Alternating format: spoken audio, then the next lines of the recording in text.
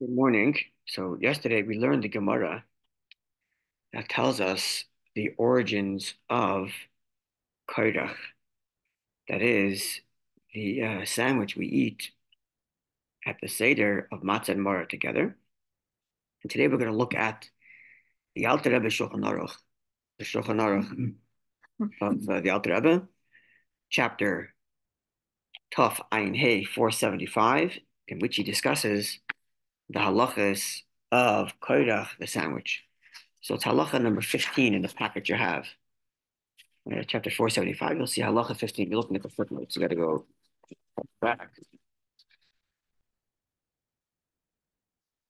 As well, 15. So correction, Rabbi Gimel pointed out yesterday, we mentioned that Hillel said, Mishmad the Gemara, the name of tradition, that a person should, uh, what was the tradition he had? That in post-temple times, when maror is rabbinic, one shouldn't mix matzah and maror together. Now, I assumed that it was Hillel the elder who lived in the times of the temple, and Rabbi Gimel pointed out that it's incorrect. The Ran states that it's Hillel of the mission of the Amoraic era, which is many generations later. Okay, so he's saying not to mix matzah and maror together because the maror flavor uh, overpowers the matzah flavor. Okay, just a little correction. Why do they call it korach? We're supposed to liberate, liberate his name. There are different spellings. Korach of the Torah is kuf reish ches. Korach, which means a sandwich, actually korach means to wrap, is Kuf reish vav chaf. Different different different uh, spelling, also different pronunciation. Their the name korach is koirach, the patach under the reish, and koirach to wrap is koirech with the tzeres. It's actually different words. They sound similar. They're different words completely. Okay. Koirech. Okay. Halal number 15, and we're going to see the Alter Rebbe is going to give us a very beautiful summary of the Gemara yesterday, along with uh, incorporating some of the commentaries that come after the Gemara as well, and then going to give us the final conclusion about how we do our Seder, which the Gemara told us. The Gemara said you have matzah, maror, and then the sandwich. And the Alter is going to give us the whole background, a nice summary of um, why that is. Let's begin. Halacha 15, you see it? Okay. Mitzvah maror. The mitzvah of maror, min ha I don't know why the words came out so small, I'm sorry. Mitzvahs maror min the mitzvah of eating maror, biblically speaking, Einoi Ella is only relevant is man mm-hmm. Pesach Nechal at the time when the Pesach offering is eaten. Otherwise, it's not biblical.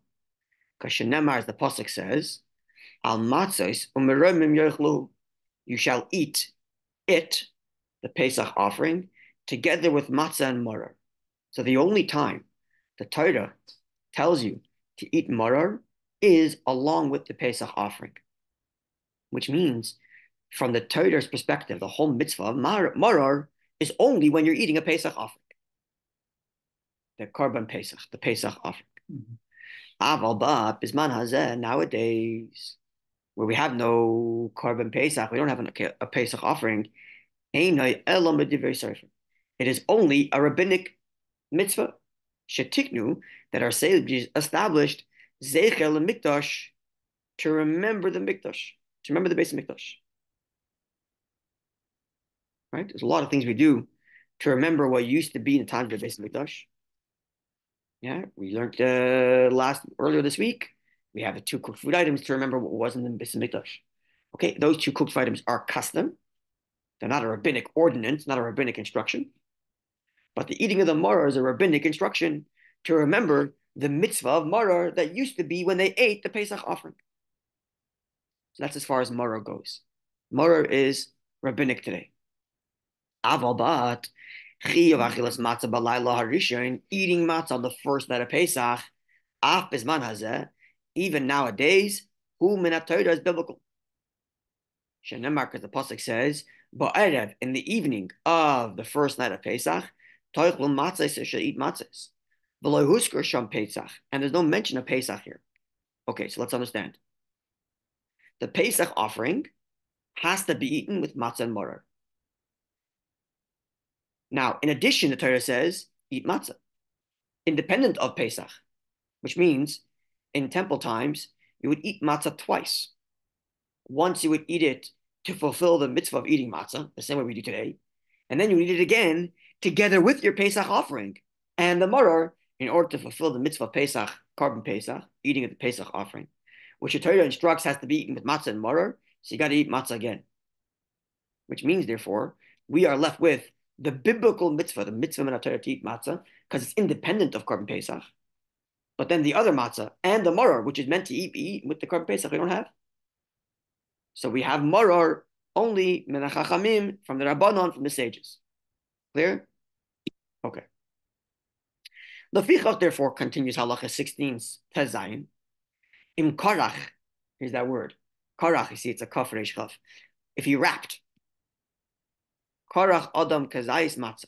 If a person took the olive sized portion of matzah, means the right amount of matzah, ukizayis marar and an olive sized portion of marar. So he took the right amount of matzah and the right amount of marar. Ullah san yachad, and he chewed them together. So he took matzah and marar and chewed them together. And he ate it nowadays when there's no Beit HaMikdash. Loi yotza yedei. He has not fulfilled his obligation. If he only did a wrap. Why? Shamarar, because the marar, shahu midivrei soifrim, which is a rabbinic ordinance, a rabbinic instruction, mevatel, it cancels out, it nullifies as tam hamatzah, the flavor of the matzah, shum which is biblical. So if all you did was ate the sandwich, you didn't do a mitzvah. The maror you didn't do, no, sorry, um, you didn't do the matzah mitzvah because the maror flavor overpowered the matzah flavor. So if all you ate was a sandwich, no mitzvah matzah. Okay. Aval but, okay, so now we know for sure we have to have matzah and maror separately. Aval bat bisman beis mikdash kayom when the beis mikdash was standing shamorah who gam came in Torah where the where when the beis mikdash was standing, eating the maror was biblical. Yotzei de cheves matzah vi de cheves maror. You fulfill your obligation for matzah and maror, which means what I said before is not true. I said before that in the temple times you would eat matzah once, and then again with the Pesach offering, maybe you'll do that. But you don't have to. Because the Pesach is biblical. And the matzah is biblical. And the maror is biblical when you're talking in the temple times. Then you can eat all together. Why? mitzvah Because biblical mitzvahs, they don't cancel each other out. Why? Because they're all equally obligated on you. They're equal. How they equal? They're all fulfilling Hashem's command. So Hashem commands you to eat three things. Okay, so eat them all together. But if Hashem commands you to eat one thing, but the sages tell you to eat something else, and you eat them together, then you're taking the sage's flavor, the maror flavor, and overpowering Hashem's flavor, the matzah. Can't do that. So when you have the temple and you're making a korban pesach, then the maror is, is biblical, the Pesach is biblical, the matzah is biblical. You can eat them all together. That's all Hashem's command. But today, where the maror is rabbanon, because you don't have a korban Pesach, and the matzah is daraita is biblical, then you cannot. It's inappropriate to take the matzah flavor of the, the maror flavor, which is only rabbinic, and overpower Hashem's command of the matzah. Well, look, okay. Moreover, so in the Beit Hamikdash times, if you wanted to eat matzah mara and Pesach together, no problem. But layoid more. das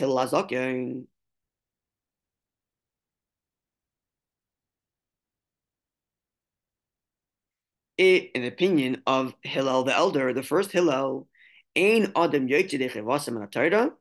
a person will not fulfill his biblical commandment, elam kain kazayis Pesach, kazayis maror uchem kazayis matzah. Hillel says you want to fulfill the mitzvah, you have to eat all three together. You have to have the right portion of Pesach offering, Pesach, Korban Pesach, the right amount of matzah, the right amount of maror, all of size each, but put them together, but eat them all together. To fulfill that which the pasuk says, al matzah you have to eat the Korban Pesach together with matzah and maror. Okay, so what do we have so far? Nowadays, you're not allowed to mix matzah and maror because maror is rabbinic, matzah is biblical. You can't do that. Temple times, two opinions. If you want to mix, mix. Opinion number two, which is Hillel, no, you have to mix. You have to eat them all together. Now let's continue Allah Zayin. Yud Zayin, 17. Yeah, we clear so far? It's the next page. We clear so far? Okay. Now the app is man hazeh, even nowadays. Shamor eine elom seifrim. That morar is only a rabbinic mitzvah. It's, from the Chachamim. Umatzah and matzah, himin is biblical. And, and we just learned, and therefore, if you mix, if you wrap together the matzah and the morar, and you ate them together, you will not fulfill your obligation. Even according to Hillel, even Hillel, who in the times of the base of Mikdash, in the times when he had the Korban Pesach, said you have to eat all three together. Today, when there's no Korban Pesach, he would say eat them separate. Shamar mavatal matzah, because the mara, which is bitter, overpowers the flavor of the matzah. If so, chayivu lechol kazayis matzah belvado. you got to eat the right amount of matzah alone. The loy without mara, in order to fulfill the biblical mitzvah of eating matzah without ruining the flavor with mara. Number one. Nonetheless,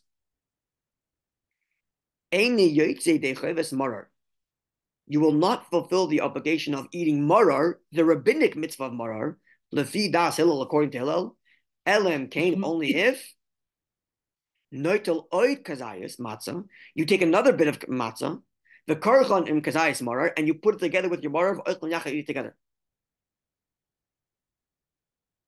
Share, because marar bisman hazeh, nowadays, tiknu chachamim, our sages say, did it. Why did they tell us to eat more nowadays? Zecher Mikdash, to remember how they used to do it in the base of Mikdash time when they had maror, biblical. When then it was biblical. And when the base of Mikdash is standing,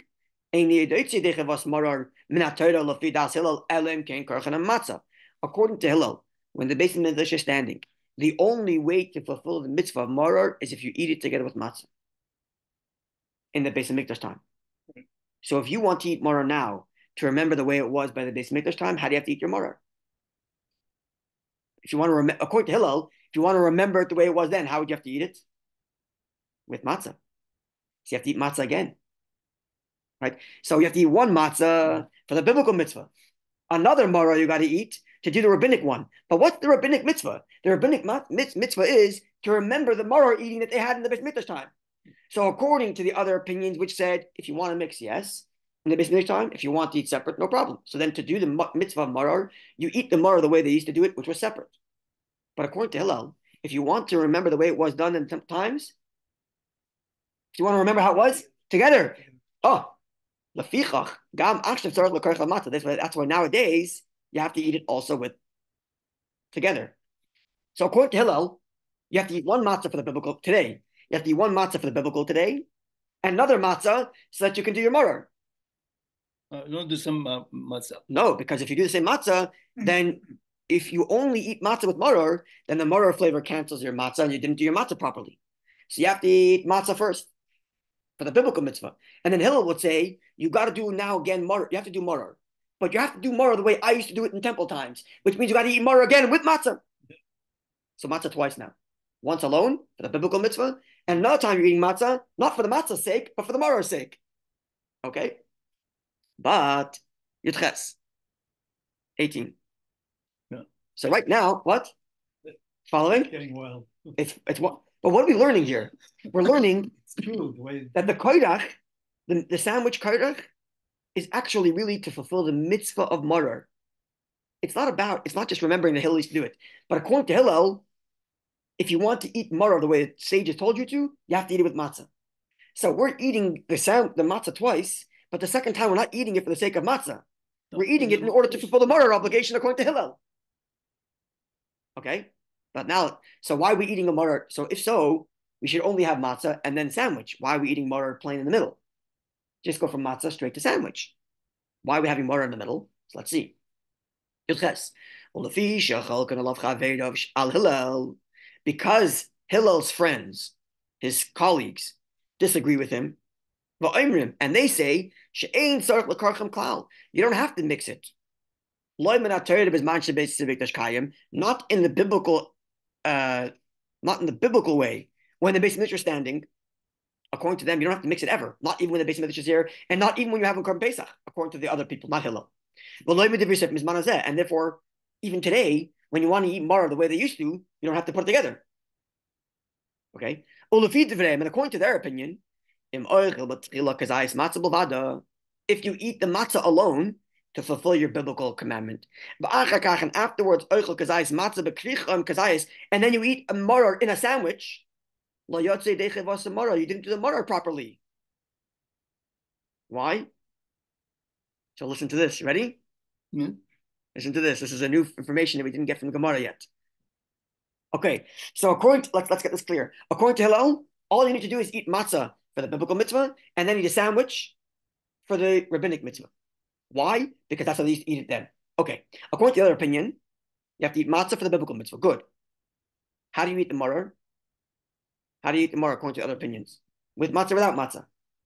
Normally. Uh, okay. So according to them, in the base of mitzvah time, you don't have to do it together, but you could do it together.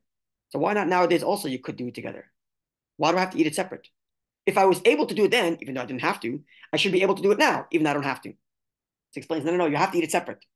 Why? The fishikazai is matzah shibakricha.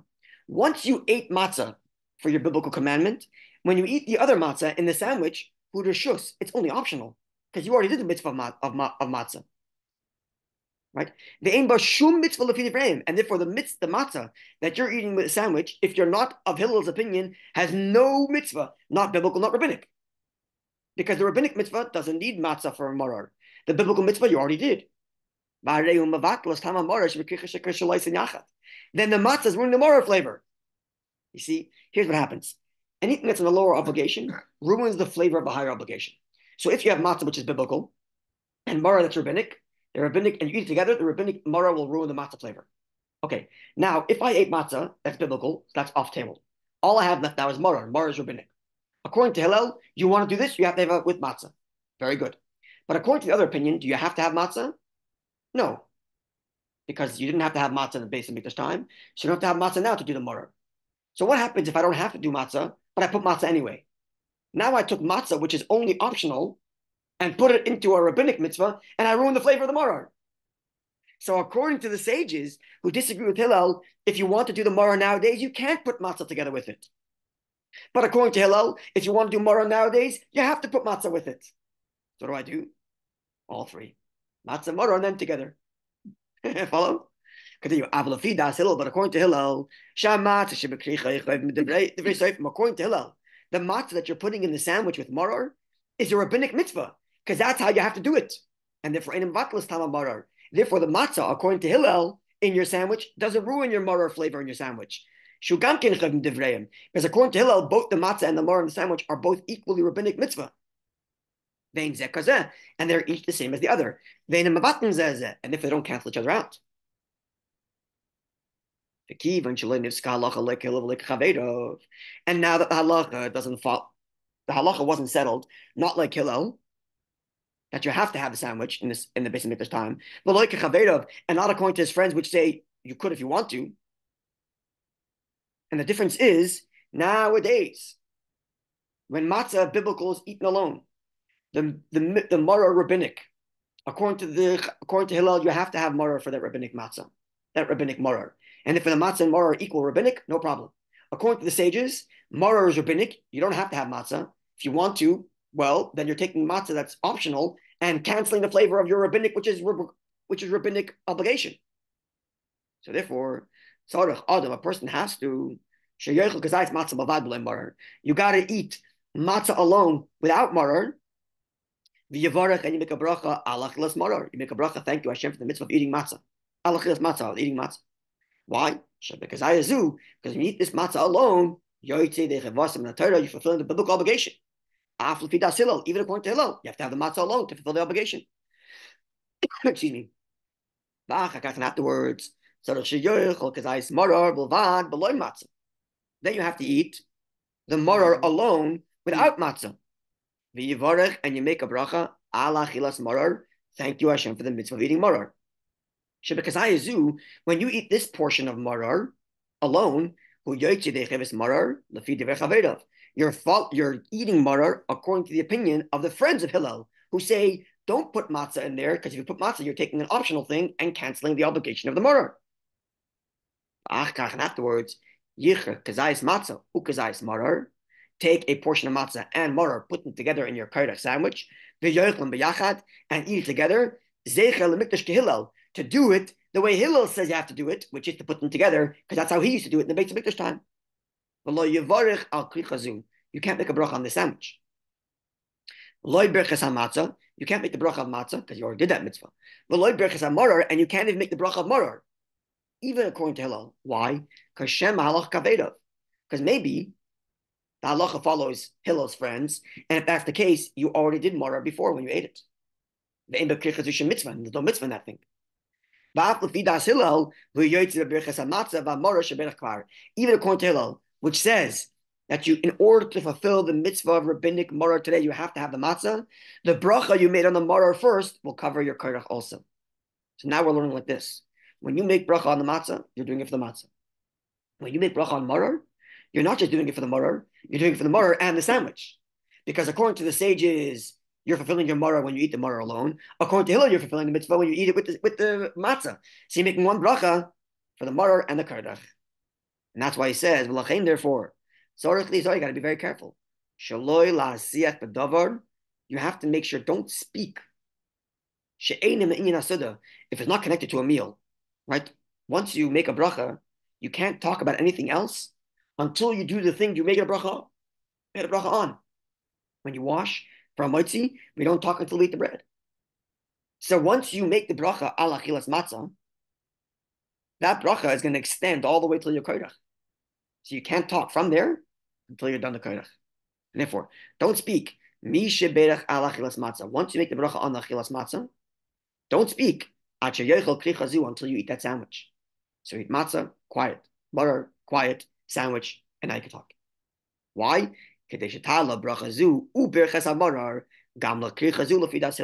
So that the bracha of matzah and the bracha of marar should extend to your sandwich according to Hillel, which you have to have the sandwich. But if you did speak, in sort of last don't make a new bracha. Because maybe you already fulfilled your obligation when you made the bracha on marar, and if you act and if you make another bracha, it might be a wasted bracha. Okay. What did they use for marar in those days? The same things we use today. You keep it you keep on coming back to that question. Alan, put it aside. When we get to the discussion of marar, we're going to go through the Gemara and tell us different op- opinions from marar, different options from marar. But they would have had the same thing we do. okay. Um, okay, we're going to stop over here. And we're going to give us more halachas tomorrow about what happens if you accidentally talk after you make a moitzi. And we're going to talk also about more halachas about the sandwich, whether you should lean or not, and uh, how you have to eat it more halachas coming up about the sandwich. But now we have a good uh, overview of the Gemara and understanding when the Gemara said at the end that because we don't know if the halacha is like Hillel and we don't know if the halacha is like the sage, like the others, why you have to do both? Why you have to do both? Because you don't know which halacha who we follow. Now we have a good reason why. To please because, both of them. But but but but to understand why that is, because before the Alter spoke to us, we could have said, well, eat the matzah alone, and then eat the matzah together with morar, and you fulfill your obligation according to everybody. Because even the people who say um, that in the base of time, you don't have to mix it, but you're allowed to mix it. Not Rabbi Yochanan. Rabbi Yochanan says, you know, you weren't allowed to mix it. But the Gemara rejected Rabbi Yochanan, which means even according to the people who disagreed with Hillel, they would have said you're allowed to mix them together. So why not just have matzah and then have matzah and maror together. But now, now we understand why. Because if you do that, then according to the people who say you don't have to put the matzah and maror together, then the maror you're introducing at your sandwich is an optional maror. And that optional maror is going to ruin the flavor of your obligation of maror. The optional matzah is going to ruin your flavor of your obligation of maror.